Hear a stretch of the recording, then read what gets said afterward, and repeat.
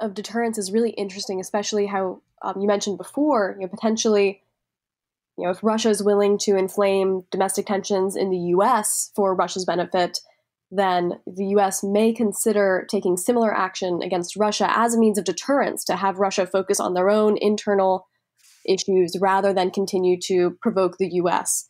And I'm wondering, is there a potential that this sort of practice might backfire? That Russia, in order to make the US stop inflaming its domestic problems, it would actually become more aggressive towards the US. You mentioned that earlier that Russia is maximalist. They might take this maximalist approach.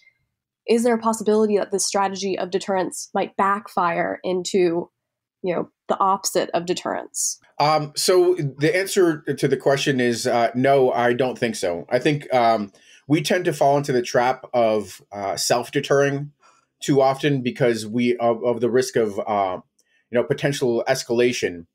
But in the the risks of escalation are equally catastrophic for the Russians. You know, the Russians don't have a death wish; they don't have uh, less to lose than we do. Um, you know, uh, and I think the fact is that the Russians, in my own experience, the Russians respond to strength. Uh, you know, without getting too much into it, uh, while I was in the Pentagon, I had the chance. I uh, had the responsibility of managing the Russian side of the um, deconfliction operation with regard to Syria, and in my experience, I could tell you that the Russians, the the, the several measures that we took to deter Russian aggression uh, were highly effective in uh, pushing back and uh, establishing a deterrence that prevented the Russians from being, you know, to, from going further in, in their kind of uh, offensive actions. I think a prominent example is, um, you know, the the fact that we, um, when attacked by Russian forces in Deir ez-Zor, we we killed some 300 Russian uh, private military uh, corporate uh, corporation um, members, and those that did not lead to an escalation. Right? And I think, you know, that's anecdotal, but again, we tend to fall, and there there are plenty of other examples. Um, we we self deterred with regards to um, the Russian attack on Ukrainian uh, naval vessels in the Kerch Strait.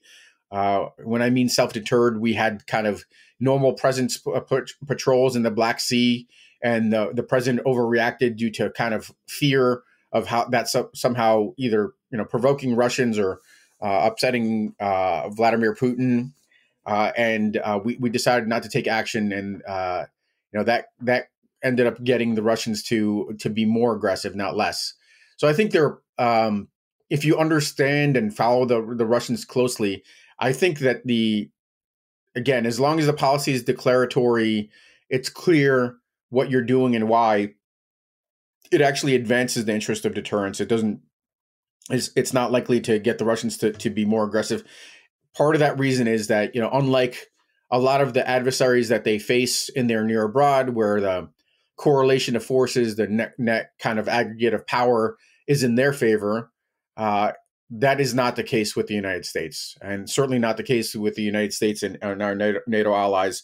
And they have no interest in provoking a direct confrontation uh, or kind of making um, the relationship you know much more acute than it is now. Um, they're trying to figure out a way to save face and kind of uh, you know dispense with some of the, the the difficulties that they place themselves in, if anything.